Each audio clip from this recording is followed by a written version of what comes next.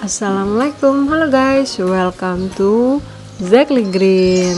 Kali ini Green mau bikin cemilan yang benar-benar hanya dua bahan ini, pisang mentah dan kental manis. Ini pisang mentahnya kecil aja ya karena adanya cuman ini.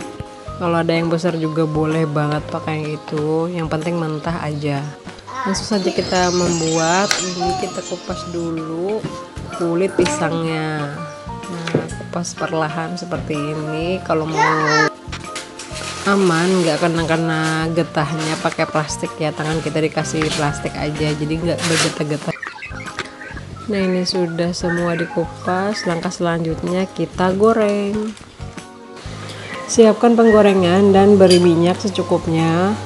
Setelah panas baru kita masukkan uh, pisangnya goreng dengan api sedang gorengnya setengah matang aja dulu ya. Nah jika jika sudah kuning ke kuning kuningan jangan sampai coklat seperti ini ya. Kuning kuning aja dibalik. Dan kemudian jika udah dibalik sudah kuning kuning juga kita angkat aja langsung. Jadi ini kita masaknya setengah matang dulu ya teman ini udah setengah matang angkat dan tiriskan. Kemudian langkah selanjutnya siapkan talenan yang tadi juga sih.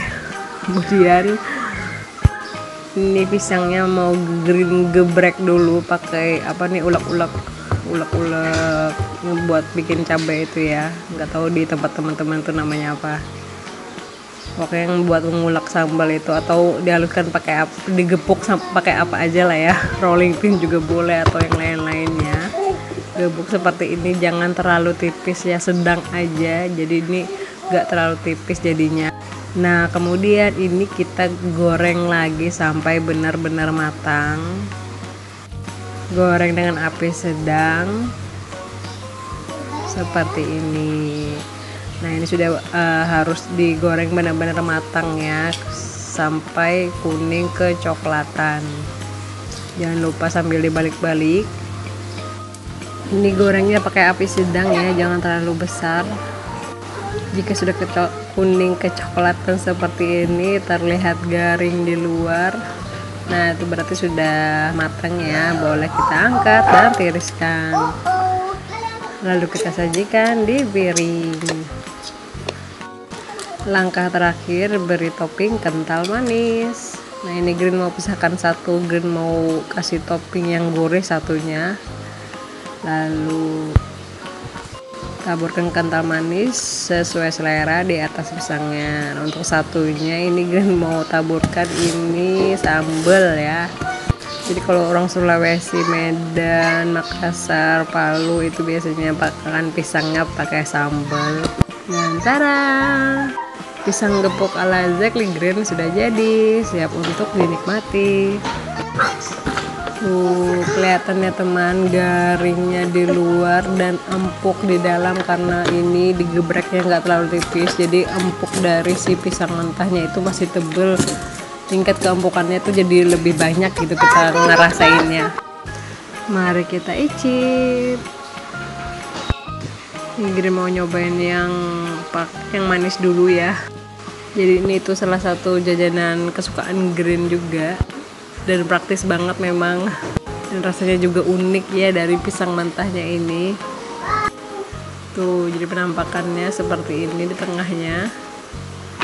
Selamat makan yum. Jadi empuk dari tekstur pisang mentahnya itu enak gitu unik gitu. Tapi enak gitu pakai topping madu juga enak ditambah keju juga apalagi terus dimakan tuh kayak ada glitter glitter gepuknya si pisang mentah itu. Pokoknya gitulah ya. Butiran-butiran maksudnya glitter emang makeup. Ini green coba yang pakai sambal nyam jadi rasanya itu lebih dominan ke sambalnya sih kenceng gitu rasanya kan biasa rasa sambal itu kan.